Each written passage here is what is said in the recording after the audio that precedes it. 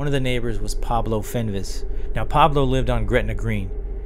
His back part of the house overlooked the alley that Nicole Brown Simpson's condo was on, so they shared the alley.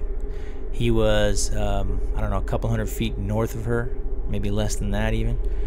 So he was able to see her condo, not all of it, just a portion of it. But he said, you know, the 10 o'clock news was on for a few minutes, um, and it was about 10:15 that the dog started just wailing, barking. It was a different kind of bark. You know, it wasn't a, a, a normal bark. You know, it was almost a cry or a howl. Eva Stein lived just north of Nicole's condo. She was the neighbor just north of that. She also testified that she could not sleep. It was about 10:15. The dog was barking.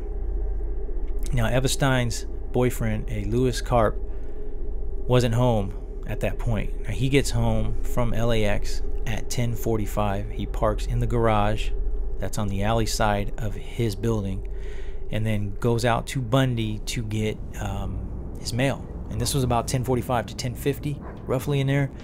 And he said the Akita was outside and being real aggressive, and it actually started coming towards Louis. So Louis backed into his side there and, and closed the gate to protect himself because he said the Akita was was going off.